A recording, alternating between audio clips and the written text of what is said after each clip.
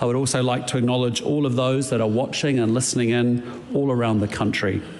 I know that this day has been a long time coming. To Tangata! To Tangata! Te Here Mr. Prime Minister, it is your friend and brother Karl Out he goes. Sir, Sir, I want to acknowledge you, sir, leave the house that now. you have been chosen Leave as the the- man to deliver the healing. Leave the gallery To now.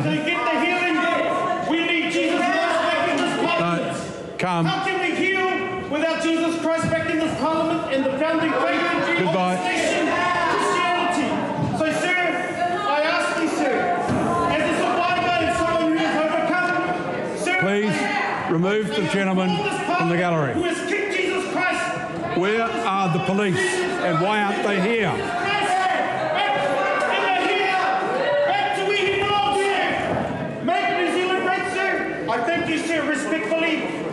Thank you, sir. I respect you, sir. Thank you, Mr. Prime Minister. And I thank everybody here today. Good, on your way. Thank you, sir. Thank you, Mr. Speaker. Make New Zealand great. Goodbye. Make New Zealand whole again. And to Pāti Māori, stop the division. Stop the division, Pāti Māori. Stop the division. To my family and to Pāti Māori, stop. On you go. We are On you one go. New Zealand. We are one New Zealand.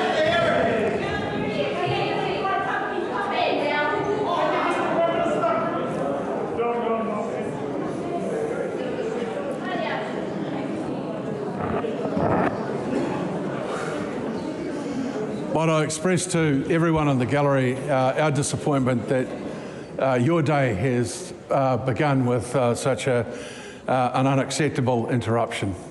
You know that you come here with goodwill, having uh, put up with so much in your lives and how important today is.